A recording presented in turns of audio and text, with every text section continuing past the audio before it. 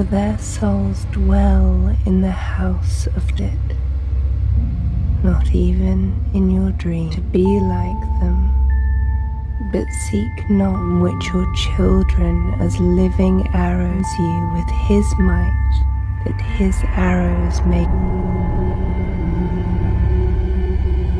Film diawali dengan seorang wanita yang sedang hamil tengah melewati pegunungan bersama suaminya. Di tengah perjalanan, mobil mereka mengambil jalur pengalihan dan setelah melanjutkan perjalanan, istrinya tiba-tiba ingin buang air kecil yang membuat mereka pun harus berhenti dan sang istri buang air kecil di bawah pohon. Setelah selesai buang air kecil, mereka pun melanjutkan perjalanannya. Namun saat sedang menyetir, Matt kehilangan fokusnya saat melihat perahu kecil yang terbengkalai di pinggir jalan hingga akhirnya Matt pun menabrak sebuah pohon.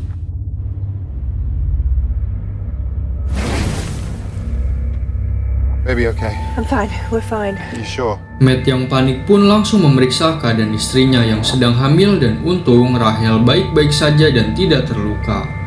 Setelah memastikan istrinya baik-baik saja, Matt memeriksa keadaan mobilnya yang sudah hancur. Di sini Matt mencoba menyalakan kembali mobilnya namun tetap tidak berhasil. Kemudian dikarenakan mereka sedang berada di tengah hutan, alhasil sinyal pun tidak ada yang membuat Matt kemudian memanjat sebuah pohon berharap untuk mendapatkan sinyal. Namun tetap saja ia tidak mendapatkan sinyal. Dari atas pohon, Matt melihat jika ada sebuah peternakan yang membuat mereka pun memutuskan berjalan kaki menuju ke tempat tersebut.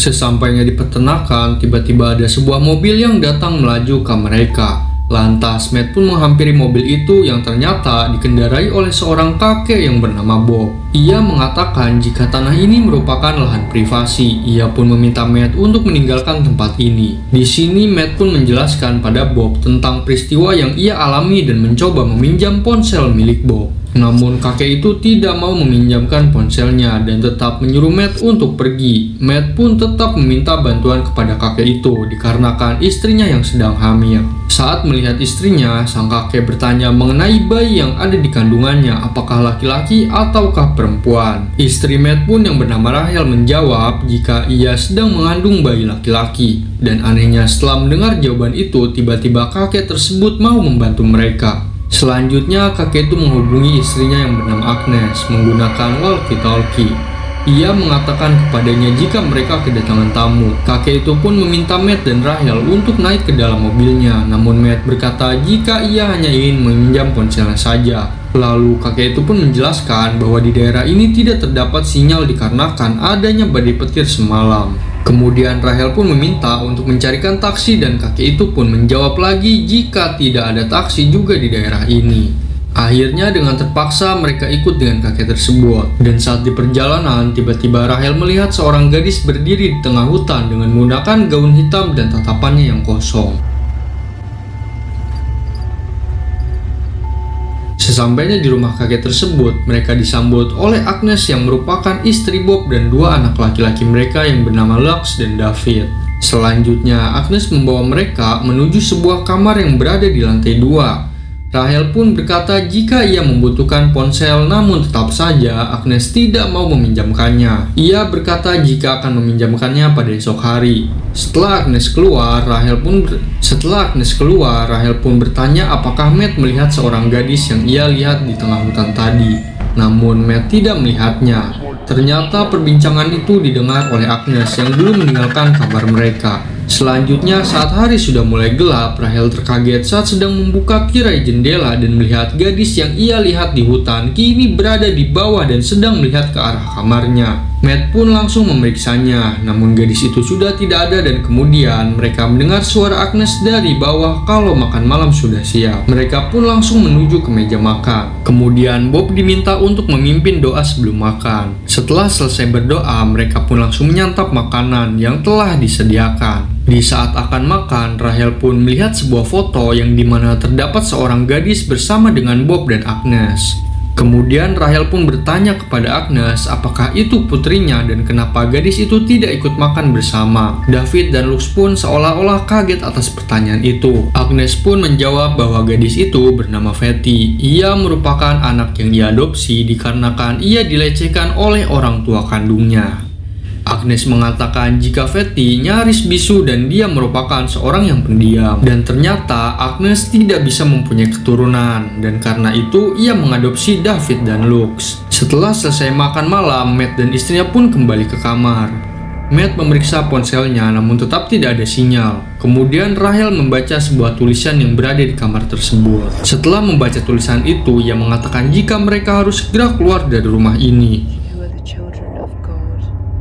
Matt pun berkata jika mereka harus menunggu sampai besok pagi dan mulai menenangkan Rahel. Lalu Rahel mengatakan jika di rumah ini sangat menyeramkan baginya. Di sini saat mereka berbincang terdengar suara langkah kaki di depan kamarnya. Kemudian Matt pun langsung memeriksanya. Namun tidak ada orang sama sekali. Setelah selesai memeriksa keadaan, tiba-tiba Rahel ingin buang air kecil. Ia pun langsung menuju ke kamar mandi. Dikala itu, ia tidak menyadari jika ternyata yang menguping pembicaranya adalah Fatty. Adegan pun berlanjut saat mereka sedang tidur. Rahel bermimpi tentang Fatty yang ternyata dia adalah seorang gadis yang telah hilang. Ia pun langsung meminta untuk segera pergi dari rumah ini kepada suaminya dengan rasa takut.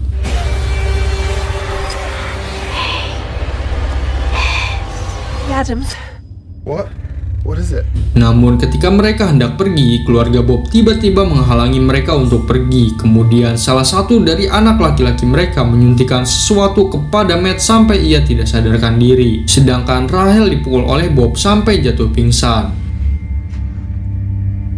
What are you doing?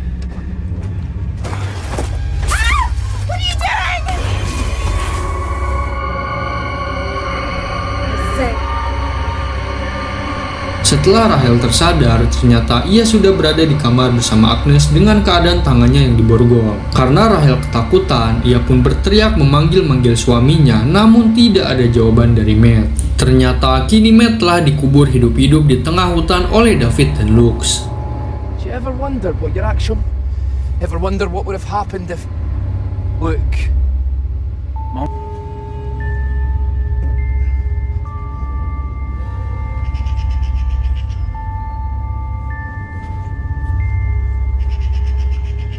Hingga singkat cerita, saat Rahel akan melahirkan, ia dibantu oleh Agnes namun ternyata ia melahirkan seorang bayi perempuan. Rahel pun meminta bayinya, namun Agnes terlihat marah dan langsung pergi meninggalkannya sambil membawa bayi tersebut.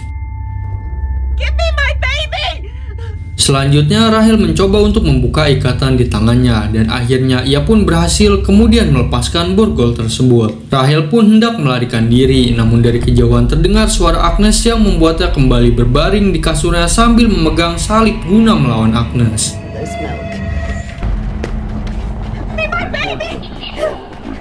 Tapi naas saat Rahel hendak kabur, tiba-tiba Bob dan kedua anak laki-lakinya datang dan langsung mengikat kembali tangan dan kakinya Rahel. Rahel pun dibawa ke sebuah kandang dan dikurung di sana dengan menggunakan rantai di lehernya. Agnes selalu membuka kancing pakaian untuk mendapatkan ASI dari Rahel. Sementara itu di sisi lain Matt yang ternyata masih hidup dan dikubur di bawah tanah, kini berusaha untuk menyelamatkan diri. Ia pun berhasil keluar tanpa mengenakan pakaian sama sekali. Di sisi lain, saat Rahel terbangun dari tidurnya, ternyata kini ada Fatty yang masuk ke dalam kandang itu memberikannya air dan roti. Rahel pun meminta bantuan kepada Fatty untuk menyelamatkan dirinya, namun Fatty malah meninggalkannya. Can you help me? Wait! Dan selanjutnya saat mencoba mencari pertolongan, tiba-tiba ia mendengar dan selanjutnya saat Matt mencoba mencari pertolongan, tiba-tiba ia mendengar suara orang yang sedang berbincang dari kejauhan. Tiba-tiba Matt datang sambil tertati-tati. Ia mencoba meminjam ponsel kepada mereka namun mereka tidak meminjamkannya dikarenakan di daerah itu tidak ada sinyal. Namun mereka tetap enggan memberikan bantuan kepada Matt. Akhirnya Matt pun memutuskan untuk menghajar dan mengikat mereka berdua di pohon, lalu mengambil barang yang ia perlukan.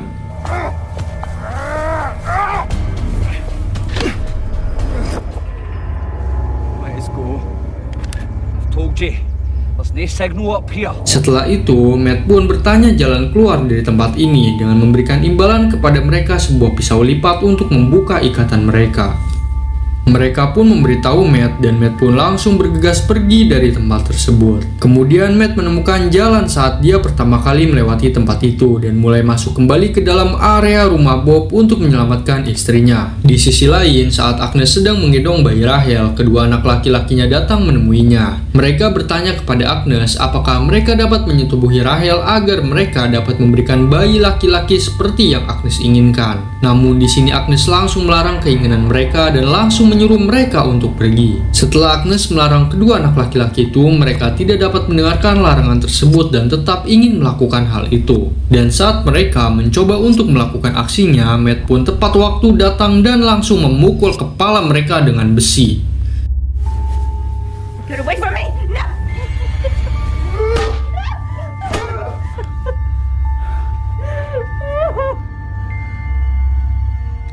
Selanjutnya saat sedang menyelamatkan Rahel, suara itu terdengar sampai ke dalam rumah oleh Agnes dan Bob. Agnes yang curiga oleh suara itu langsung meminta Bob untuk memeriksanya. Saat Matt dan Rahel akan melarikan diri, Bob pun sudah berada di depan gudang itu sambil menodongkan sebuah pistol. Bob yang mengetahui jika kedua anaknya sudah tergeletak, memutuskan untuk menembakkan pistolnya ke arah Matt. Dan saat Matt tertembak, ia meminta istrinya untuk berlari. Namun Rahel malah tersandung dan tidak dapat melarikan diri hingga akhirnya Matt pun dipukul oleh Bob menggunakan ujung pistol hingga ia tidak sadarkan diri. Adegan selanjutnya memperlihatkan saat Rahel tersadar yang kini ia sudah berada di gudang bersama Fatty yang sedang berusaha melepaskan borgol itu. Rahel pun membantunya dan berkata kepada Fatty jika mereka harus keluar dari sana. Sementara itu di dalam rumah, Agnes yang sangat sayang kepada anaknya terlihat kini sedang mendandani kedua anak laki-lakinya yang kini sudah mati. Bob yang melihat peristiwa itu meminta Agnes untuk segera menguburkan anaknya dikarenakan sudah mengeluarkan bau yang sudah tidak sedap. Awalnya Agnes tak mau, namun pada akhirnya ia tetap menguburkan kedua anak laki-lakinya itu.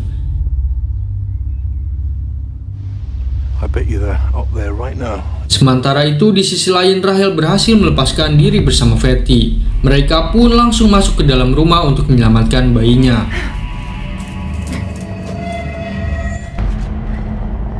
Please like and subscribe to Twitch channel.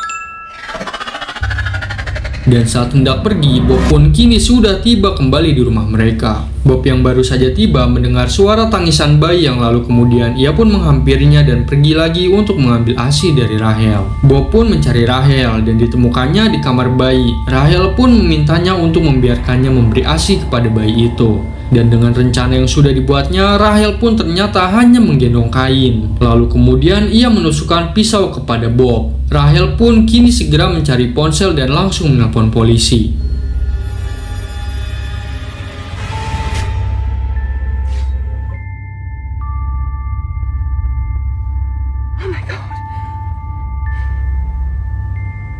Agnes yang baru saja tiba di rumahnya, kemudian ia melihat gudangnya tidak terkunci lagi. Ia pun langsung memegang pistol sambil diarahkan ke kamar bayi. Rahel yang melihat Agnes langsung membawa pistol juga, dan kemudian Rahel pun turun dan langsung masuk ke dalam mobil dari da dan kemudian Rahel pun turun dan langsung masuk ke dalam mobil. Dari dalam mobil, Rahel melihat Agnes yang sudah bersiap sambil memegang pistol. Rahel pun keluar dari mobil sambil membawa pistolnya, dan mereka pun mulai adu mekanik hingga pelurunya habis.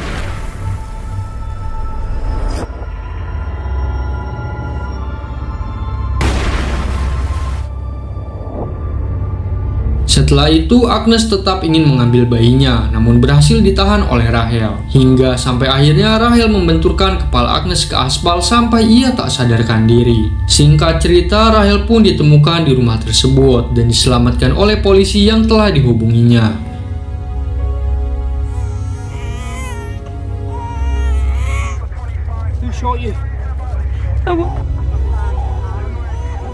Namun saat ia akan dibawa ke dalam mobil ambulan, rupanya Agnes yang kini sadarkan diri telah bersiap menembaknya. Akan tetapi polisi sudah menembaknya terlebih dahulu.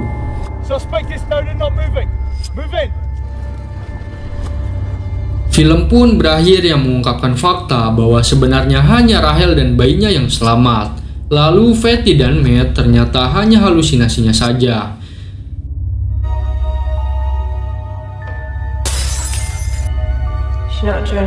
Hmm, film ini saya rasa cukup membingungkan dengan fakta pada akhir filmnya. Dan itulah rangkum alur film Matriarch yang dirilis pada tahun 2018.